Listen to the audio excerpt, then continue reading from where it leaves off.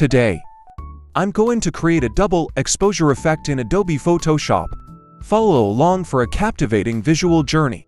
In the beginning, go to the Select menu and choose Subject. Now, wait for the processing to complete. Now, go to the Layer menu and create a mask. Now, go to Create New Fill or Adjustment Layer. Select Solid Color and choose a color. This could be changed later. Now, drag down the solid color layer. Now, I'm going to unhide the merge image. You can choose to place embedded or drag and drop image. Now, set the blending mode to screen.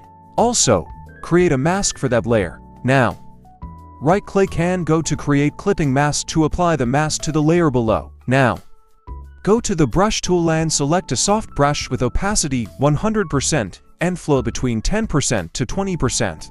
Ensure the foreground color is set to black, select the mask, and draw to reveal the areas you want to see clearly behind the face, such as the eyes and nose. Now, I'm going to add birds. Find black bird silhouettes on a white background, create a mask for that layer, and place them. Set the blend mode to multiply. Now, go back to the brush tool and erase any unwanted parts.